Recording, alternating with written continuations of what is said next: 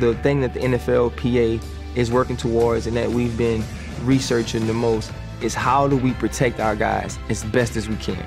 As a father of a son who plays football, I want the game to be in a good position if he gets the opportunity to play. I most of all want it to be safe.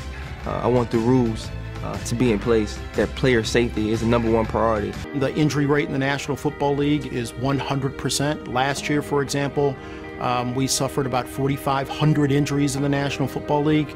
Uh, we only have 1,800 players. So the simple math tells you that this is a game not where there's the possibility of you being hurt, but the reality that you will be hurt. Changing the idea of it from a game to a workplace was something that was significant. And with those benefits, the NFLPA has continued fighting for rights, focusing on the health and safety of players, and making sure that during the season as well as the off-season, every measure is taken for the safety of players. And year-round, every player benefits financially from NFL Players Inc., the marketing and licensing arm of the NFLPA, charged with protecting group licensing rights and generating income for every NFL player. During the time when I played, if you saw anyone walking around with a jersey on, even whether it was a t-shirt that said LA Rams, you knew that they were part of the LA Rams, or they were a family member of somewhat. Now the business has changed so much until it's now commercialized. Uh, teams can market uniforms and players can market themselves, whereas during that time, they didn't want you to market yourself at all. When it comes to the business of football, you have to be tough both physically and, and cohesively, but you have to also be extremely strong economically. Players Inc. is really the, the engine that drives this train.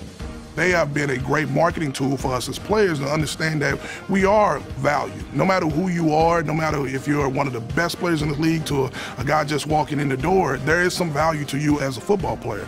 This wasn't born from some, you know, business people trying to take advantage of players. This was born from players.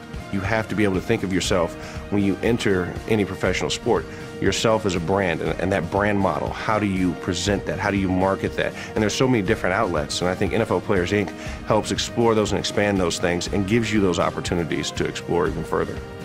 One of the things that, that we decided to do is to put on our own collegiate all-star game. Building that brand, making sure that brand stands for something like integrity and safety, as well as courage, sacrifice, and teamwork, is incredibly important not only for the players of today, but certainly for the people who will come after us. When it's all said and done, I hope we can all say we gave our all, we did what was fair, we did what was right, and it was worth it. Because everyone before you have been willing to sacrifice. We can't be any different.